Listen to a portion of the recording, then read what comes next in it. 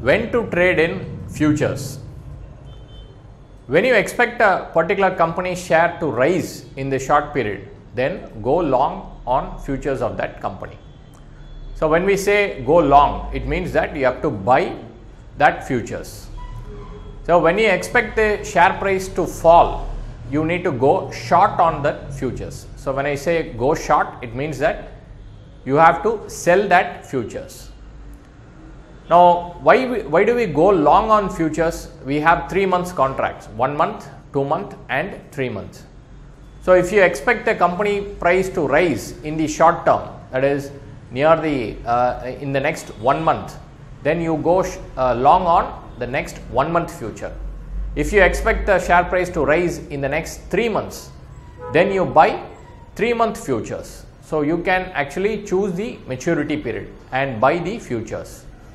The same logic goes for going short in futures. So, if you expect the company to go uh, go down or uh, depreciate in the next 2 months, then you go short on 2 month futures of that particular company. So, this is how you trade in futures.